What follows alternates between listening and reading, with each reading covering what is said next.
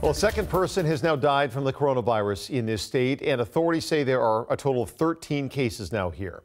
Three of those cases are in Snohomish County, the other 10 are in King County. The two confirmed deaths are among those cases in King County. We have team coverage for you tonight. We're going to begin with Kristen Ayers in Kirkland, where the majority of those cases are, including this latest death. Kristen? Right. This is the center of that investigation tonight, and it's where the man who uh, died from coronavirus, the second man to die from coronavirus, lived. He is the second in the state and in the country. And tonight, family members of other people who live here say this is hitting them hard. A, a second death? Here? A woman stunned to hear of a coronavirus death at the nursing home where her 89 year old mother has been living for three weeks. Yeah, that's concerning. Too close to home.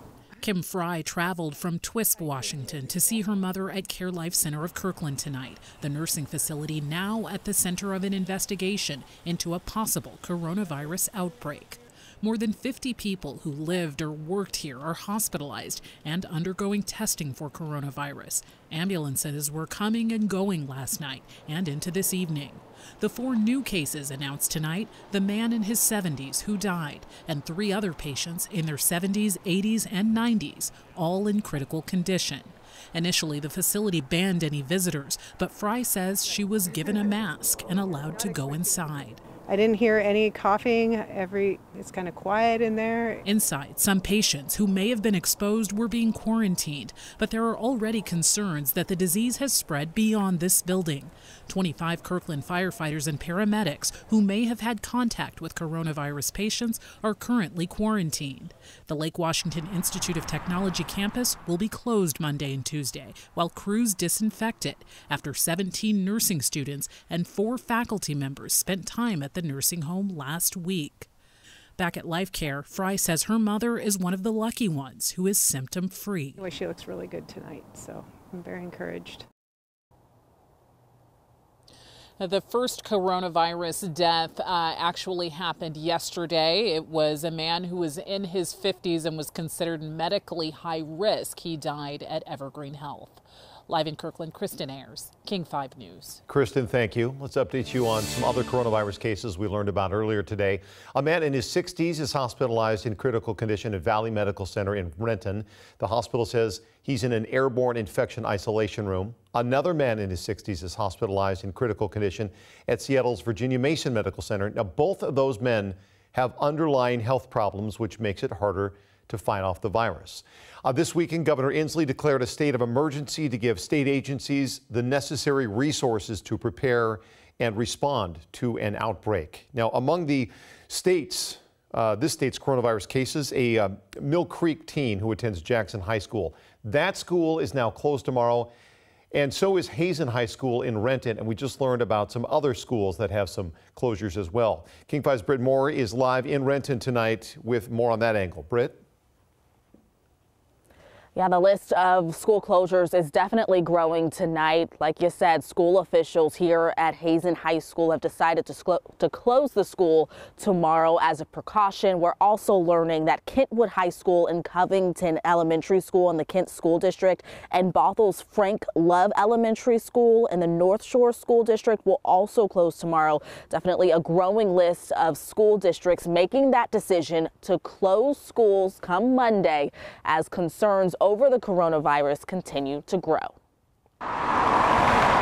Hazen High School in Renton is closed Monday while custodians clean the campus after officials learned a student and their parent were experiencing flu symptoms. Through the day, they've been cleaning the school, specifically in, in the high uh, contact areas, hallways, door handles, water fountains, those kinds of things. The parent, who works in the healthcare industry, got sick last Sunday. The student got sick Wednesday and did not go to school Thursday or Friday. The student and parent were both tested for coronavirus on Saturday and are self quarantined at home while they wait for test results. It's important for our families and families all over to know that um, school districts and, and communities are paying attention to this.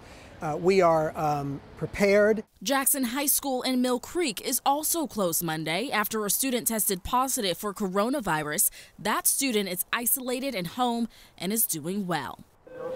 Meanwhile, Bothell High School was closed Thursday and Friday due to coronavirus concerns and plans to reopen Monday. This closure was sparked by a sick family member of a staffer, both of whom had traveled internationally. The family member tested negative for the virus. And the state's largest school district, Seattle Public Schools, says there are currently no confirmed cases of coronavirus within the school system, but officials are closely monitoring the situation.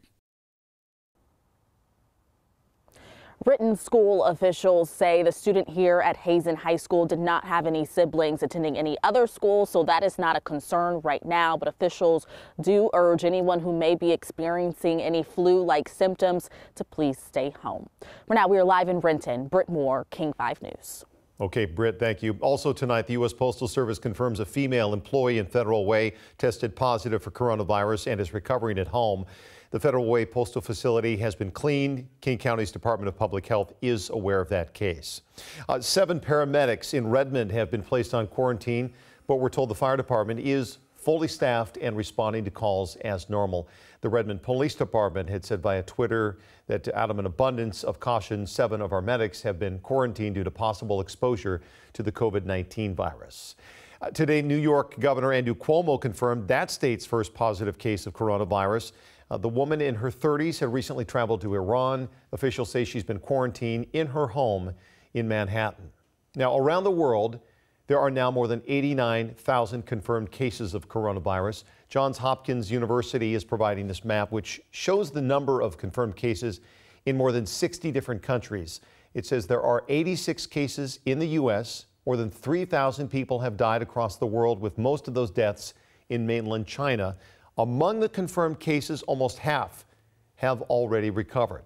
The World Health Organization urges people over 60 or with an underlying medical condition to avoid crowded areas where they might come into contact with somebody who's sick. China, South Korea, and Italy have the most coronavirus cases. Italy's infection rate jumped 50% today. More than 1,600 are infected there. 34 have died. Masses were not held because churches closed. Close to a dozen towns near Milan are still quarantined. More than 50,000 people are on lockdown. Today, a top Italian official warned of what he called a quote, possible tsunami effect on hospitals if the outbreak isn't contained. Now, one of the difficult things with something like this is keeping our viewers and the public apprised on any new developments, and there have been a lot, while also trying to not cause any hysteria. Look, there are some things we just don't know about the virus, but there are a lot of things we do know. So we're going to try to separate facts from fear and give you some figures that hopefully put this virus into uh, context a little bit better. So, so far, there have been two deaths in Washington state from coronavirus. This flu season, there have been 74 deaths in Washington state. Nationwide, as many as 41,000 deaths might be linked to the flu. Current estimates say that 80% of people who come down with coronavirus will not need hospitalization. So, why is it so concerning? Well, again, it's fairly new for us, and there's no vaccine available for the public yet. So, it's all up to your immune system, which is why it's most dangerous for elderly and those with underlying health conditions. It also may be easier to catch and deadlier than the flu, but that needs context as well, and we just don't have all of the information just yet. Uh, we know there is a lot of information to try to digest. So we have compiled it in a special coronavirus section on our website. All you have to do is text the word virus to 206 448 4545. We will send you a direct link. And then coming up in a few minutes, an infectious disease expert is going to be answering some questions about the coronavirus.